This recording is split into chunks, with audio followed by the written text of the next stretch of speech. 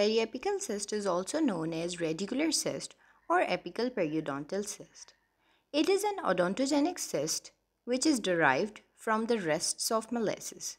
Rests of Malassez are cells which are normally present in periodontium and are derivatives of Hertwig's epithelial root sheath. These cells proliferate in response to inflammation of pulp.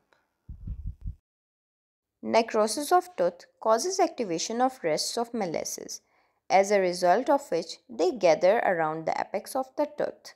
The innermost cells are deprived of nutrition, resulting in the formation of a cyst which is lined by epithelium. Periapical cyst develops at the apex of erupted tooth that has been devitalized by dental caries or trauma. As the carious lesion progresses to the underlying pulp tissue, it leads to inflammation of pulp. If the tooth is left untreated, then pulp become devitalized and the products of pulp necrosis exits the tooth into the periodontium, stimulating the rests of Malassez. These epithelial cells now surround the apex of the tooth.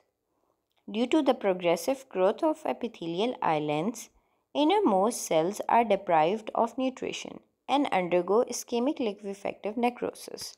Due to necrosis, the central cavity is formed which is surrounded by epithelium. Now as a result of osmotic gradient across the epithelial lining, there is continuous increase in fluid volume and the cyst continues to expand. Most periapical cyst develops at the apex of the tooth adjacent to the pulp canal opening. However, sometimes they also develop at the opening of large accessory canal at the lateral aspect. Such cysts which develop at the lateral aspect are known as lateral periapical cyst. 60% of the periapical cysts are present in maxilla as compared to mandible, with the most common tooth being the maxillary lateral incisor. In radiography, it appears as round to oval radiolucency at the apex of the tooth. In case of non-infected, it will have well-defined corticated borders and if infected, the corticated borders will be lost. Now let's move into the histopathology of the cyst.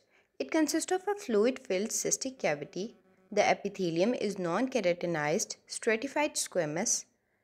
Eosinophilic calcifications known as Rushton or hyaline bodies are present within the epithelium. Fibrous capsules contains chronic inflammatory cells such as lymphocytes, plasma cells, and macrophages.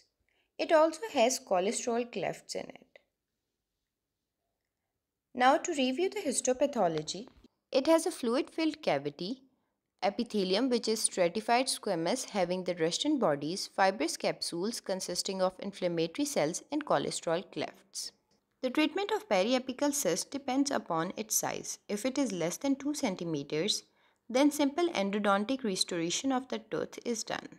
If the cyst is greater than 2 centimeters and the tooth is to be retained, then endodontic restoration followed by periapical surgery is done. Otherwise, extraction of the tooth followed by enucleation and curettage. A 10 years old boy presented in operative department with broken maxillary lateral incisor. The tooth has grade 2 mobility. Cyst of more than 2 cm is present on the palatal aspect at the apex of tooth. So the diagnosis is periapical cyst. If you found this video useful, don't forget to like it and subscribe to channel for more updates.